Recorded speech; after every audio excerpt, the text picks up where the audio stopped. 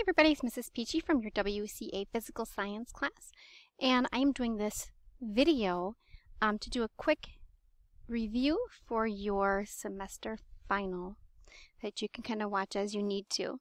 So we're going to go through some of the um, some of the concepts that you should know for your final and I'm also going to direct you to my website where I actually already have all of the essays posted for the final exam that you can work on ahead of time.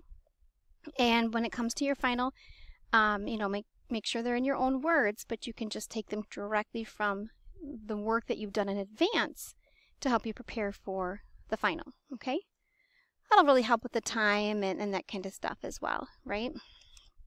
Okay, so um, the final exam is, just gonna um, double check here, but it is 42 multiple choice questions. 1, 2, 3, 4, 5, 6, 7, 8, 9, 10. Fill in the blanks.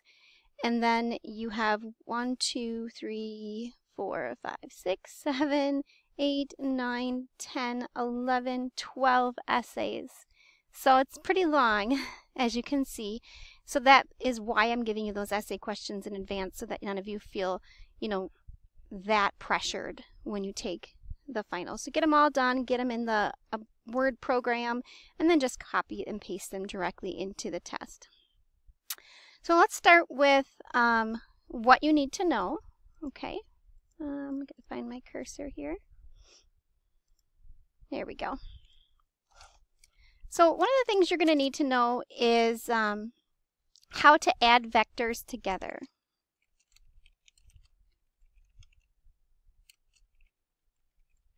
For this, all we're looking at is making sure you take direction into consideration. So, for example, if you had somebody traveling, um, somebody walking on a train, and they're walking at a rate of three uh, miles per hour to the east, and the train is going um, 45 miles per hour to the east, then you would just add those together, right? 3 plus 45 to end up with the person traveling at a total rate of speed of 48 miles per hour to the east. Remember, vectors always include directions. However, if that person was traveling at 3 miles per hour to the east, and the train was going 45, oh, I can't type, 45 miles per hour to the west, then actually they're going in opposite directions. So you want to take the 45 minus the 3 in that case, and you end up with the person's rate of speed at a net 42 miles per hour to the west. Okay? So just take that into consideration when you're doing any of these vector problems. Um, another question you have to know is speed is distance divided by time. Average speed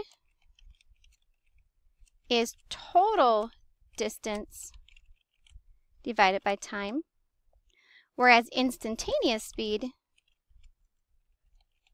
is the speed at that moment in time. Say, for example, if you're driving from point A to point B and it takes you um, an hour to travel. Well, let's do half an hour. A half an hour to travel um, 30 miles, right? So basically, you're taking 30 and dividing it by a half, which is the same as, you know, to be divide by a half, it's the same as multiplying by the reciprocal, which is 2 over 1. So 30 times 2 is 60, so your speed would be 60 miles per hour. That's your average speed. But if you were to figure out, you know, at any moment in time on your journey, you might not be traveling at 60 miles per hour. You might be going slower or faster as you're passing people on the highway. If you slow down and stop, um, any of those types of things change the instantaneous speed. Okay, so the difference between speed and uh, velocity, remember velocity includes direction. Oops, I'm sorry.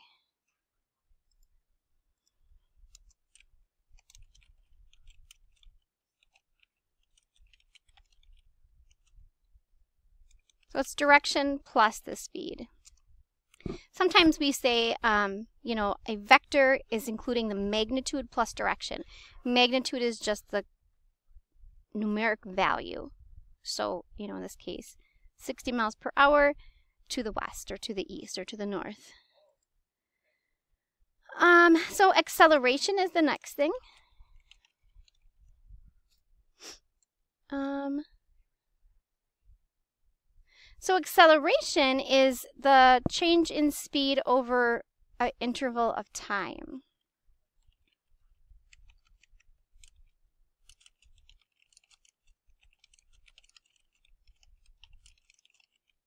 So you would take the final velocity minus the initial velocity and divide it by change in time. So for example, if Mark was um, throwing, let me try to think of something. If Mark was taking off in a race and he reached um, 10 miles per hour in, mm, let me try that again. He reached 10, he reached 2 meters per second, say, in 10 seconds, okay?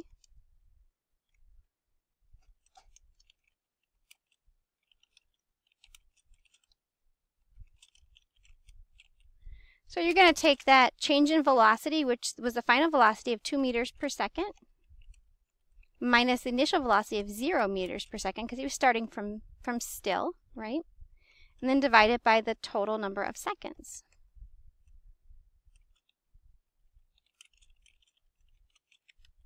So 2 divided by 10 would be like 1 fifth, or um,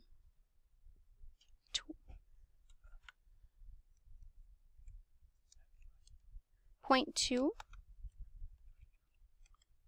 Oh, of course, 2 tenths, Mrs. Peachy. And it would be 2 tenths meters per second per second.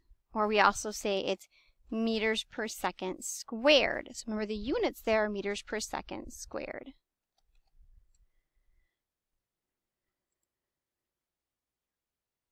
Okay, so one of the types of acceleration that we have on Earth is little g.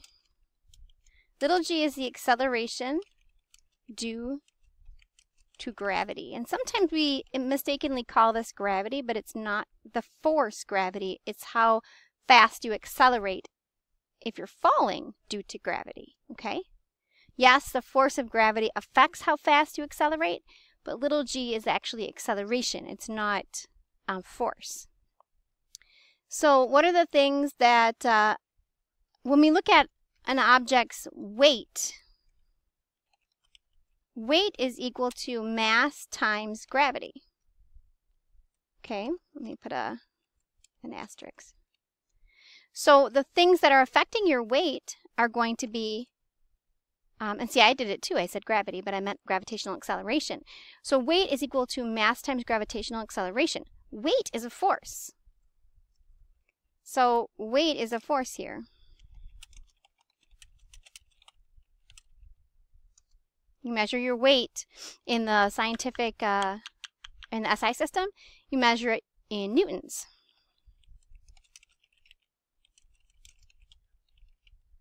Which is a unit of force, okay? Which is equal to, um, a newton is one kilogram meter per second squared.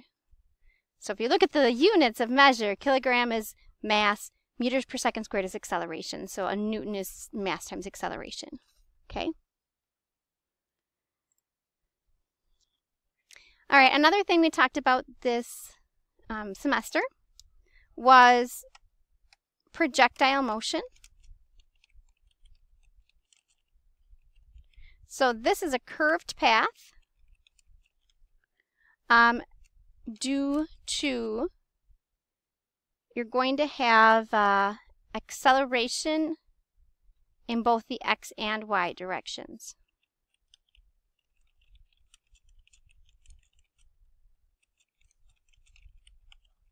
right? Thinking about that for a moment, I don't think that's actually correct. Um, you have um,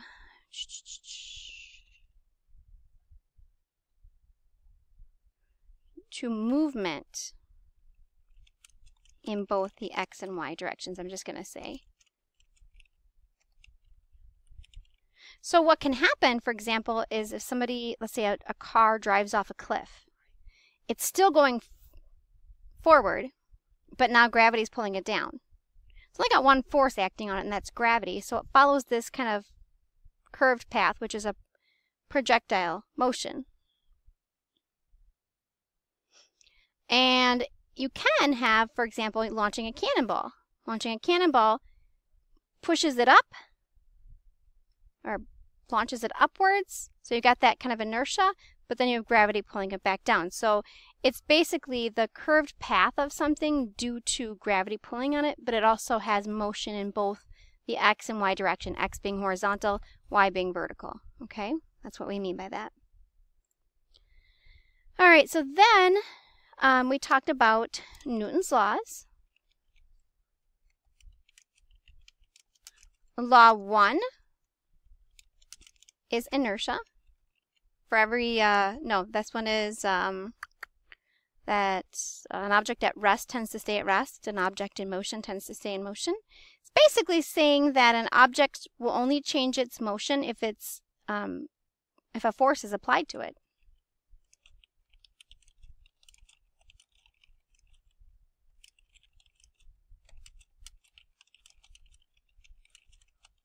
Okay, and then we have law two, and that is force equals mass times acceleration. This is a mathematical relationship. It says if I increase the mass of something, I'm going to have to increase the force in order to get it to accelerate at the same rate.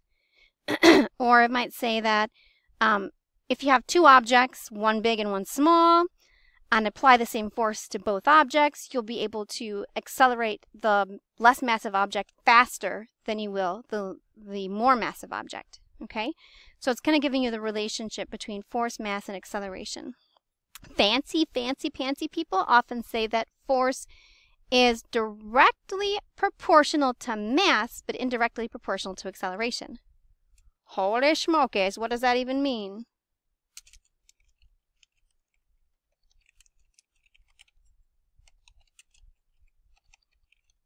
Good gravy.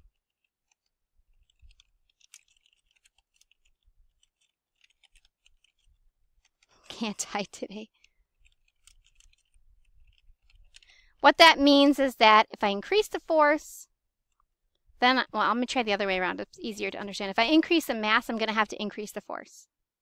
And I'm going to accelerate it less. So, so force will go up, but acceleration goes down. So that's acceleration is inversely proportional, but mass is directly proportional. That's what that means. Um, another thing that was discussed this semester is momentum. Momentum is equal to um, mass times velocity. Momentum is given the formula P equals m times v. And basically, you know, momentum is really something we talk about when it comes to collisions. And how it transfers. Um, we're almost out of time for this video clip because I only have a 15 minute time limit. So what I'm going to do is I'm going to put it into different parts. So this is part one of the semester two final exam review, and you'll have to tune into part two for the next 10 questions.